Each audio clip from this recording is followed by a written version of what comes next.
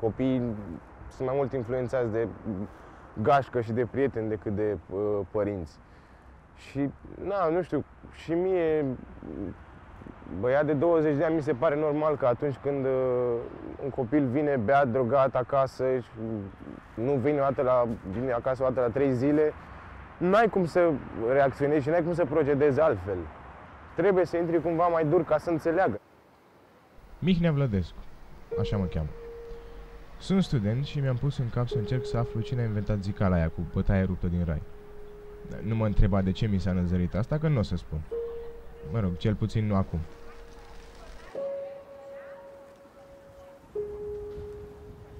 Băieții mei ăștia mari, realitatea e că i-am pognit de câteva ori, când erau foarte mici. Că aici e granița între convingerea că ai pocnirii de câteva ori e bine și convingerea că nu e bine. Asta mi se pare că de fapt e discuția, că în cazul meu, eu deși eram convins că nu e bine, au fost vreo două, trei momente în care nu m-am putut abține. Pur și simplu mi-am pierdut minția. Mi-am pierdut cumpăt.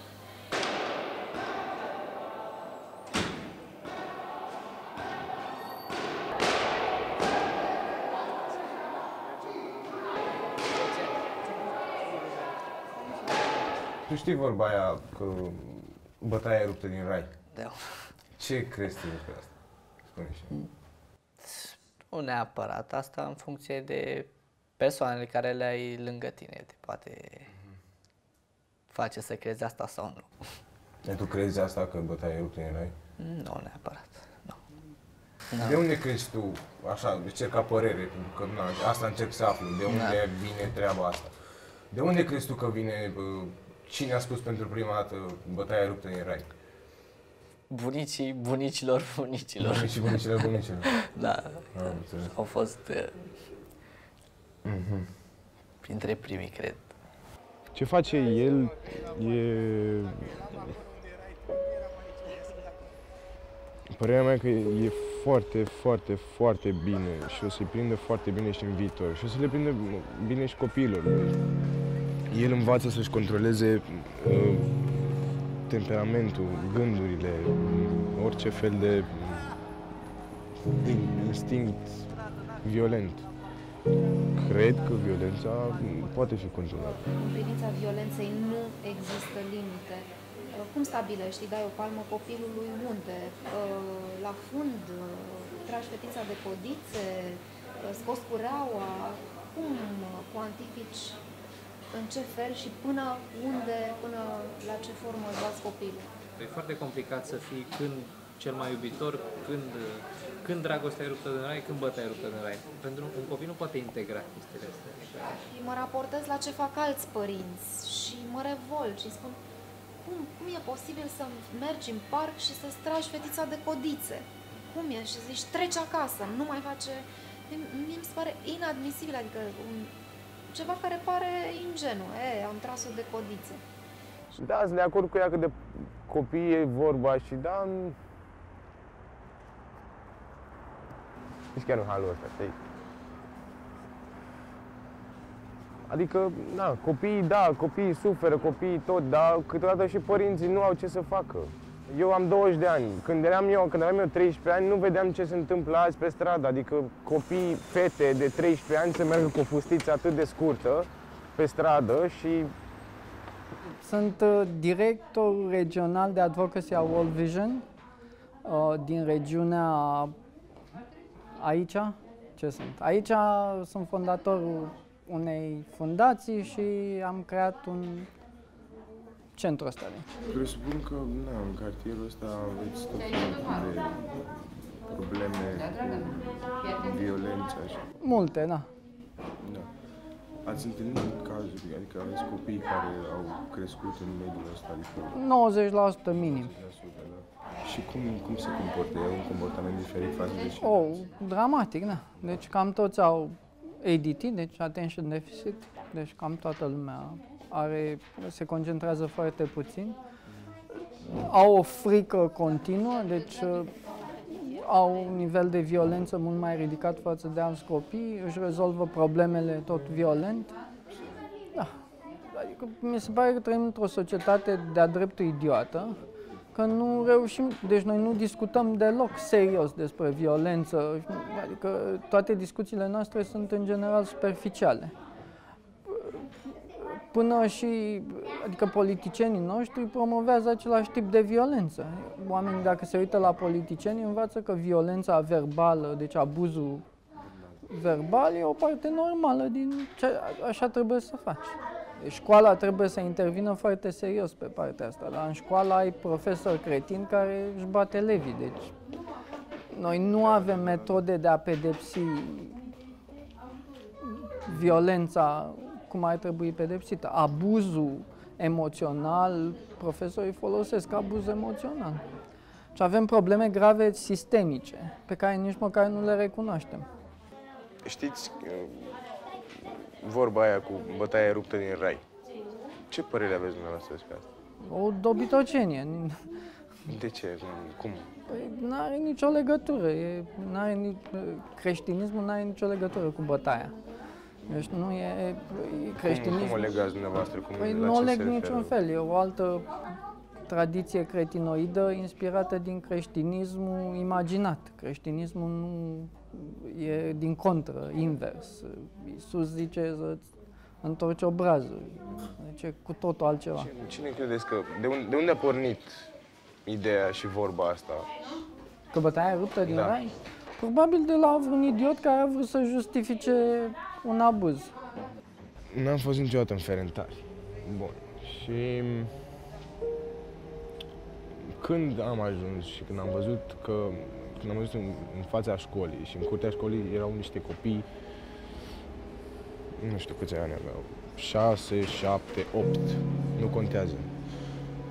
Uh, copiii se, se băteau și cu galerie. Asta era, știi, adică acolo violența e... Mm, cum, cum să zic? Um, nu apreciată. E ești un erou dacă poți să bați pe cineva, cumva, acolo. De unde a început vorba asta? Nu știu, o părere de dumneavoastră, nu știu. Un tată care Nu știu, tu ai dat vreodată palmă unui copil? Eu? Da. Nu. Nici când erai copil? Nu. N-ai lovit niciodată pe nimeni? Nu. În viața ta? Mă rog, doar... Un șut în fund, da. Da. Sau o îmbrânceală acolo, mititic. Da, da, da. Bun. Sau, nu știu, să dai un cot așa în autobuz, când ceva nu-ți convine. Ce vreau să zic cu asta? Dacă te uiți cu ochelari deschiși la povestea asta, îți dai seama că pragul discret de la care se termină normalitatea și începe patologicul e foarte ciudat. Eu nu pot să-l stabilești. De unde începe agresiunea fizică a copilului? Oamenii fac niște cataloge de astea imense. Cu un copil bătut, este frisonant ce poți să auzi din poveștile astea. Deci este absolut înfiorător. Uh-huh. În primul rând, copilul nu înțelege agresiunea ca pe un gest dialectic. Adică uh, fiecare rost sau nu are rost. Pentru copil nu există rai sau chestii rupte din rai. Pentru copil există durerea și absurditatea durerii și faptul că e imprevizibilă și faptul că um, pe undeva creierul lui nu prea pricepe și nu poate procesa așa. Da.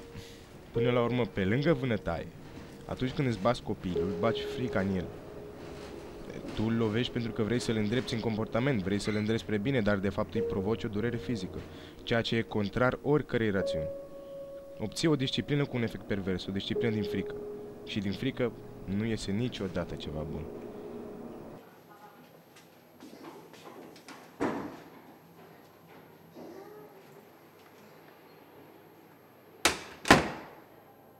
Cine a inventat vorba bătaia ruptă din rai? Probabil, ta. Probabil cineva care își căuta o scuză pentru asta și nu reușea să găsească. Mm-hmm. Pentru că nu există nicio scuză pentru a-ți maltrata copilul. Mm-hmm. Pentru a-l schilodi. Și când spun schilodi, nu mă refer la faptul că îi rupe o mână sau un picior. Că da, da cei da, mai mulți dintre părinți, îmi place să cred că nu dau atât de tare.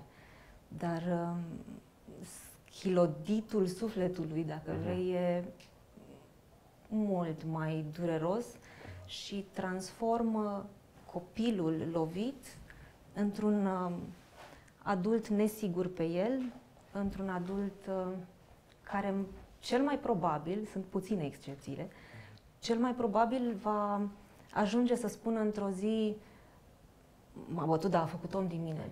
Noi știm despre câteva cazuri, dar despre câte cazuri nu știm, pentru că oamenii ăștia bătuți, cu sufletul schingiuit, n-au curaj să spună m-a lovit. Le este rușine, mai ales la țară, când, Da, când și- gura da. satului ar răspândi vestea peste tot. Cum ar fi privit omul ăla bătut?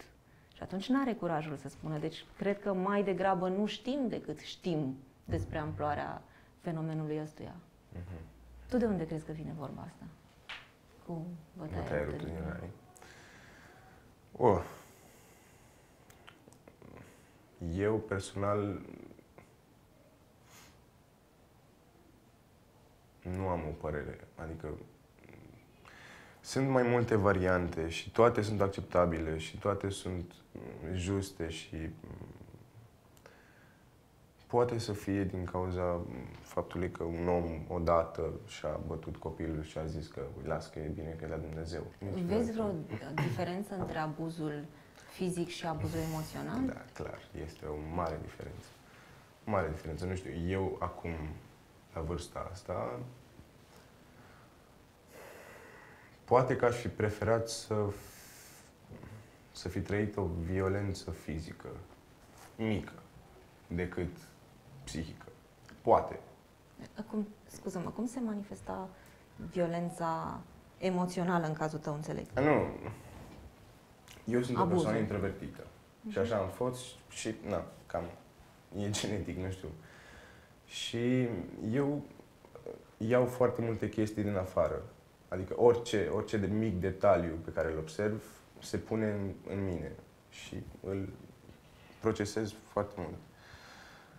Dacă nu aveam asta, probabil că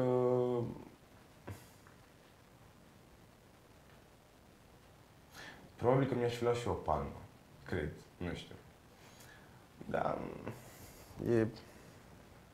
Mm. Dar ai putea spune că ai fost uh, abuzat emoțional? Emoțional. Nu în mod conștient, conștient, nu. Dar da, În mod conștient, uh, în sensul că părinții tăi n-au făcut-o conștient sau Da. n- tu n-ai conștientizat abuzul? părinții mei n-au conștientizat uh, abuzul ăsta.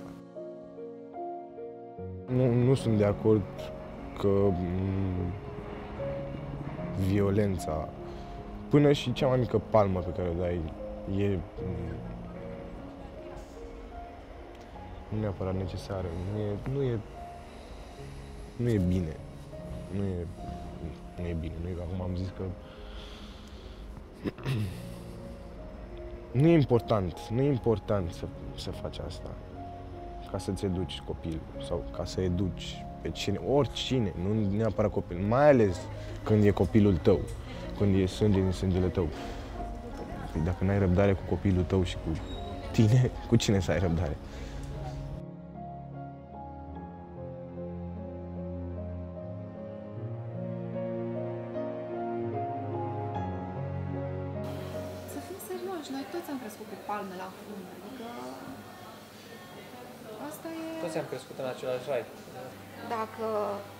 Ți-a ieșit din minți, indiferent ce face copilul tău, lasă-l undeva, într-un loc sigur, du-te închide într-o cameră uh, sau du-te, fă o baie relaxantă, bea o cafea, calmează-te, că e despre tine, nu e despre copil.